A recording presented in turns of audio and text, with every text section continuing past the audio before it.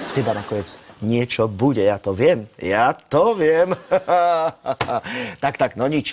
Treba ho vyšetriť, áno, spísať zápisnicu, zistiť, aké škody boli napáchané a okamžite ho vyhodiť do ťahalstva. Preč, preč, preč, ide preč. My takýchto nepotrebujeme v našom okrese.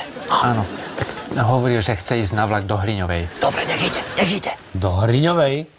Vlakom?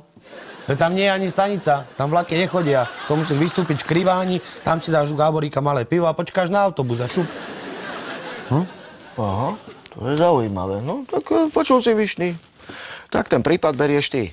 No, jasné?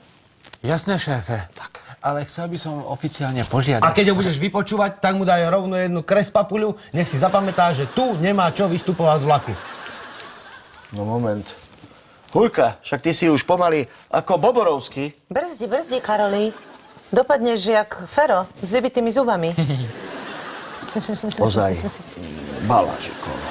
No, e, nejaké správy nám prišli už. Áno, šéfe, máme správy. Boborovský bude PN až do konca týždňa, kým mu nevyrobia protézy na tie predné zuby.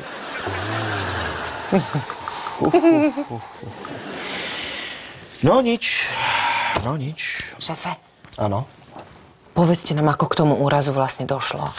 Povedzte, šéfe. ale to nemôžem. Ale šéfe. Balažiková, nemôžem, naozaj nebláznite.